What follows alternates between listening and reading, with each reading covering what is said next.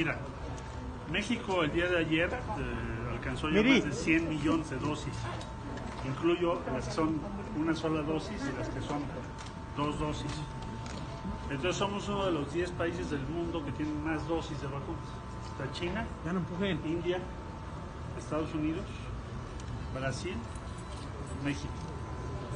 El número de- Entonces, eh, el presidente ha pedido que la secretaria de Seguridad Pública encabece, como hizo en la frontera norte, que hizo un, dispositivo espe- especial para que se acelerara la aplicación de vacunas, le pidió a la titular de la Secretaría que encabezara un esfuerzo parecido aquí en Puebla. Y ya eh, está, es inminente que ustedes lo empiecen a percibir aquí en Puebla, porque ya llegaron las vacunas que ella pidió para hacerse cargo de ese operativo, porque ya rebasamos 103 millones. Síntesis, el presidente quiere que para octubre todos los adultos mayores de 18 años tengan al menos una dosis.